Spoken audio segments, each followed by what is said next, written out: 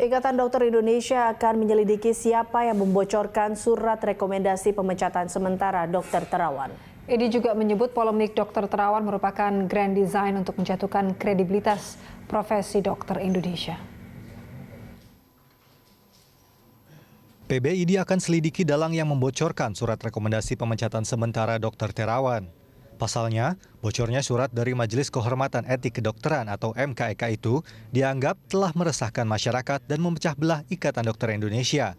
Ketua Umum PBID, Profesor Dr. Ilham Utomo Marsis, menyebut telah bekerja sama dengan Badan Intelijen Nasional untuk menelusuri siapa dalang di balik bocornya surat rekomendasi itu. Bahkan Profesor Marsis juga menilai ada unsur kesengajaan untuk membocorkan surat dari MKEK untuk kepentingan perorangan saja. Kita akan melacak ya, bekerja sama dengan badan intelijen untuk mengetahui siapa yang membocorkan, ya, terutama kepada media cetak, media elektronik tentang masalah ini. Dan tentunya kita tidak berhenti di belakang saja, tapi kita akan bergerak siapa yang menjadi otak dari perencanaan ini. Kita tahu juga ini merupakan sesuatu tindakan yang diharapkan akan mempunyai dampak politis. Selain itu, PBID juga menyebut polemik dokter Terawan merupakan grand design untuk menjatuhkan kredibilitas profesi dokter Indonesia jelang masyarakat ekonomi ASEAN. Pasalnya pada tahun 2025 mendatang, Indonesia akan menerima penanaman modal asing di bidang pengobatan. Ilham menuturkan, jika dicermati, polemik dokter Terawan ini akhirnya menimbulkan keresahan masyarakat dan jika dibiarkan akan membuat kepercayaan masyarakat terhadap dunia pengobatan di Indonesia berkurang.